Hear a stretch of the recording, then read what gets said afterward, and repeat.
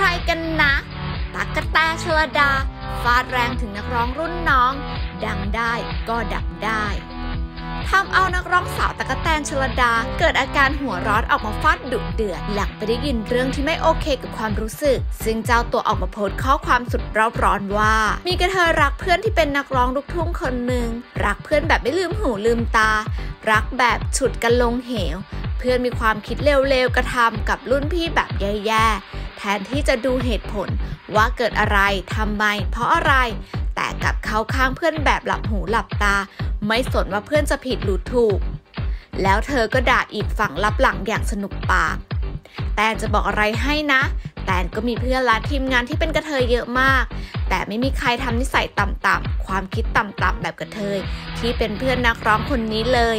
ส่วนใหญ่กระเทยเขาจะมีภาวะความเป็นผู้ใหญ่สูง น่ารัก สู้ชีวิต กระตันยูอ่อนน้อมถ่อมตน